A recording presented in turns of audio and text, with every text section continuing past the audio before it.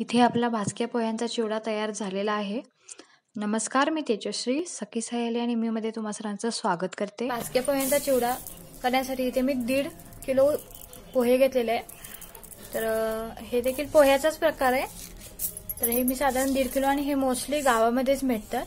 शहरामध्ये शक्यतो पातळ पोह्याचा चिवडा केला जातो. तर इथे सर्वप्रथम आपण फोडणीसाठी लागणारं साहित्य बनवणार आहोत. तर इथे मी दहा बारा ते पंधरा असतील ही कढीपत्त्याची पानं.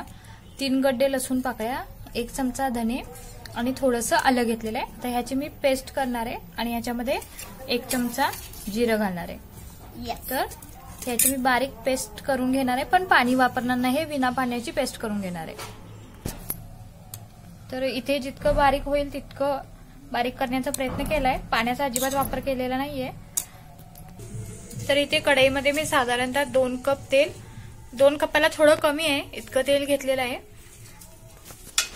तर इथे तेल गरम झालेलं आहे. तर इथे दीड किलो पोह्यासाठी मी साधारणतः सव्वा कप डाळ घेतलेलं आहे किंवा फुटाण्याची डाळ दलिया तो आपण तळून घेऊया. जितकं छान तळलं जाईल तितका चिवडा आपला छान बनणार आहे. थोडासा कलर चेंज झाला की आपण याला काढून घेणार आहे. तर इथे आपली डाळ भाजलेली आहे. आपण याला डायरेक्ट पोह्याच्या ह्याच्यामध्ये काढून घेऊया. तुम्ही हवं तर याला टिश्यू पेपरमध्ये काढून नंतर देखील घालू शकता. तुम्ही याला लागलंच ह्याच्यामध्ये सोडणार आहे. आता आपण याच्यामध्ये जितकी मी फुटाण्याची डाळ घेतलेली आहे तितकेच मी शेंगदाणे घेतलेले आहे शेंगदाणे पण आपण चांगले भाजून घेऊया. शेंगदाणे भाजायला लागले की त्याचा तडतड आवाज येईल आपल्याला. तुम्हाला ऐकू येत असेलच. याला देखील आपण एक दोन मिनिटं भाजून घेणार आहे चांगलं.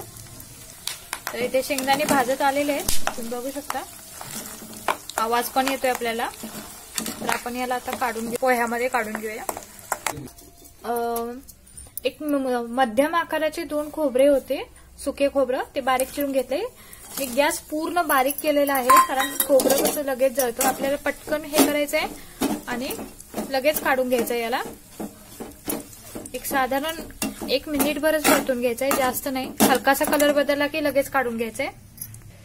तर इथे खोबरं देखील भाजलंय. हे देखील आपण काढून घेऊया. आता आपण चिवड्या चिवड्यासाठी लागणारी फोडणी बनवून घेऊया.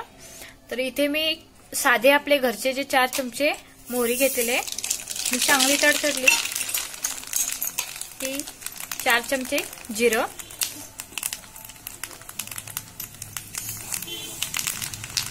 गॅस बारीकच ठेवायचा आहे दहा बारा कडीपत्त्याची पानं. व आपण जी आलं लसूण पेस्ट बनवली होती ती.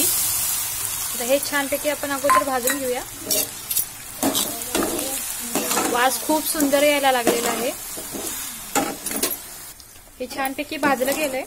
आता मी या कंडिशनला गॅस बंद करते कारण तेल आपलं चांगलं तापलेलं आहे. आणि याच्यामध्ये मी एक पाच चमचे लाल तिखट घेतलेलं आहे. लाल तिखट तुमच्या चवीनुसार ठेवा. हे देखील आपण मिक्स करूया. गॅस बंद केला त्याच्यामुळे जळण्याचं काही टेन्शन नाही आहे आणि जेवढं तेल तापलेलं आहे त्याच्यामध्ये आपली लाल तिखट भाजून निघतो. व एक छोटा चमचा हळद. हे देखील मिक्स करून घेऊया. अगोदर आपण हे सगळे जिन्नस एकत्र करून घेऊ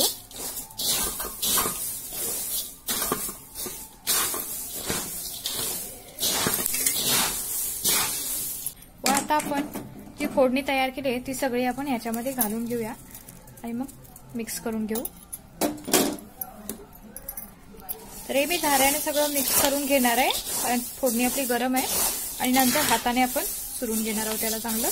मिक्स करून घेणार आहोत. तर हे मी चमच्याने बऱ्यापैकी मिक्स करून घेतले.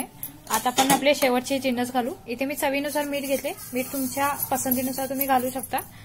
आणि पाव कप होईल इतकी पिठी साखर घेतलेली आहे. आणि आता हे सगळं मी हाताने चांगलं मिक्स करून घेणार आहे. तर इथे आपला चिवडा तयार करून झालेला आहे. बघू शकता परफेक्ट झालेला आहे. जास्त तेल नाही आहे किंवा जास्त स्पायसी नाही आहे मिडियम रेंजचा झालेला आहे. तर इथे मी चिवडा सर्व करून घेतलेला आहे प्लेटमध्ये मी शेव देखील ह्याच्यावरती घातलेले आहे. काही लोक घरी शेव बनवतात व पूर्ण चिवड्यामध्ये मिक्स करतात. किंवा काही लोकांना ड्रायफ्रुट्स देखील आवडतात जसं की बदाम काजू मनुके वगैरे. ते देखील घालतात तेही तुम्ही घालू शकता. पण मला सिंपल आणि साधा सरळ असा तिखट मस्त आवडतो. सो मी मला हवा तसा बनवला आहे तर ही रेसिपी तुम्हाला आवडली तर लाईक शेअर व सबस्क्राईब करायला विसरू नका. धन्यवाद.